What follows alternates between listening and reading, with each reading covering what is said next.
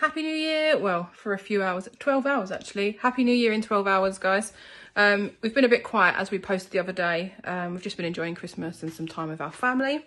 Um, but as of tomorrow, we launch a few new products, which I'm going to show you quickly and try with you.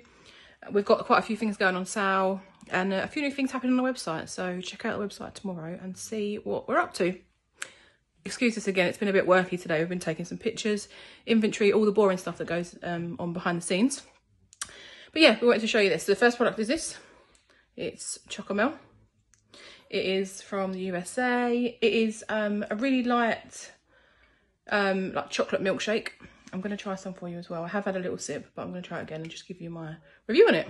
So yeah, if you fancy some proper American chocolate milk, you know they love the chocolate milk, especially for breakfast and stuff over there. This is what it looks like.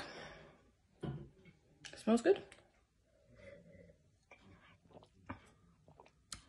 It's, it is a really light drink. It's not like a thick, like chocolate sort of Yazoo type milkshake. It's a lot thinner. It's not super overpowering either. It's really nice. It'd be nice as like a, a breakfast drink.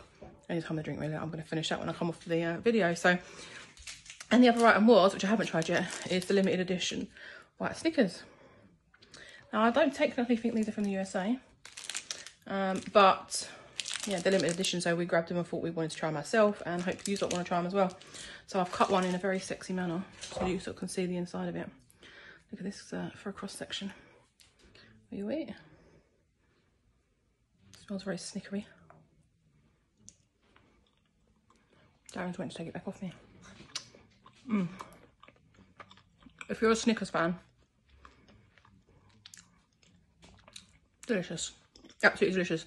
Yeah, so check the website tomorrow um, for the prices, for all the other info you need to know regarding them, some new products, as I said, and some stuff going on sale tomorrow. So yeah, happy new year, and we'll uh, look forward to hopefully a successful 2022. Take care, guys. Bye.